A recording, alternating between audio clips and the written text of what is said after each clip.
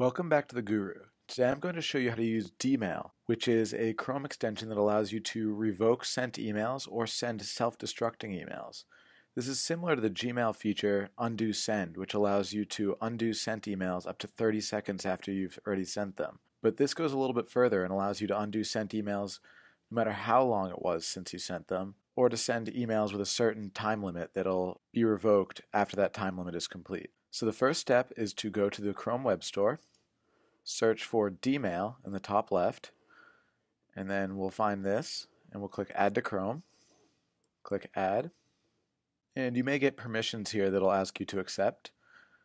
And once you've accepted those permissions, we'll go back into Gmail, and we'll compose a new email, and we'll click Dmail On. We'll type in a recipient as if we're writing a regular email. Write whatever you want for the subject line.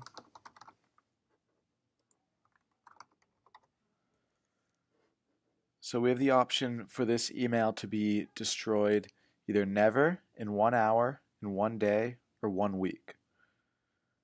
So for displaying how this works, we'll choose never because you still have the option to destroy this email manually after you've sent it. So we'll send this email. And now let's take a look at what this looks like from the recipient standpoint. So as you can see, the recipient has an email with the subject line self-destruct, which is the one we just sent.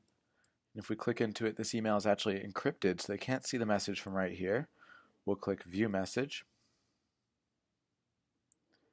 And we can see the message right there. And if the recipient has this extension installed, then they will actually be able to see the message right in the Gmail interface. They won't have to click out to a new web page like this. So let's go back into the Gooru's email and self-destruct this message. So we'll go to our sent mail and we'll find that message that we sent and we'll click revoke email in the top right. We'll ask you if we're sure. We'll click OK. And now that email is not viewable to the recipient anymore. So let's take a look now at the recipient's email inbox. So we still see the email here. We can see the subject line. And if we click view message, it says message unavailable since we revoked that message. So this can be great for secure communication or for if you mistakenly send an email and you want to take it back or anything like that. Hope this has been helpful and if you have any comments or questions, please leave them in the comments section below. Thank you and have a great day.